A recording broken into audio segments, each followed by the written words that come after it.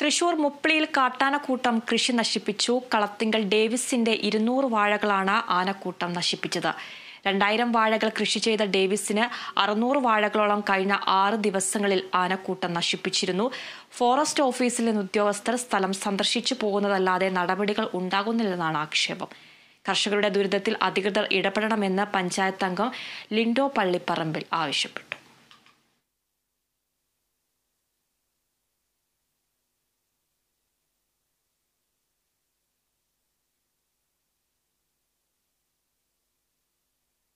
ഞങ്ങളുടെ ഉപജീവനമാർഗം ഇതാണ്.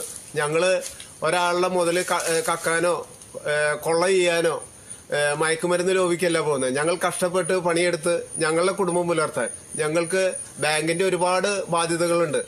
ഒന്നെങ്കിൽ ഞങ്ങൾക്ക് ഞങ്ങളുടെ കാർഷിക മേഖലകൾ മേഖലയിലുള്ള ലോണുകൾക്ക് മോട്ടോറിയം പ്രഖ്യാപിക്കുകയും ഞങ്ങളുടെ കാർഷിക കടങ്ങൾ എഴുതി തള്ളുകയും വേണം. ഈ ആനയുടെ ശല്യം കാരണം ഞങ്ങൾ നിരന്തരം ബുദ്ധിമുട്ടിക്കൊണ്ട് ബുദ്ധിമുട്ടുകയാണ്. ഞങ്ങൾ സോളാർ ഫെൻസിങ് ഞങ്ങളുടെ സ്വന്തം ചെലവിലാണ് ചെയ്തിരിക്കുന്നത് ഇത്തരം സോളാർ ഫെൻസിങ് ചെയ്യുന്നതിന് സംസ്ഥാന സർക്കാർ സബ്സിഡി നൽകണം. ഇപ്പോൾ ഇതൊക്കെ ഇതിനെയൊക്കെ അതിജീവിച്ചുകൊണ്ടാണ് ഇപ്പോൾ ഇത്തരം മേഖലകളിലേക്ക് ആനകൾ ഇറങ്ങി വരുന്നത്.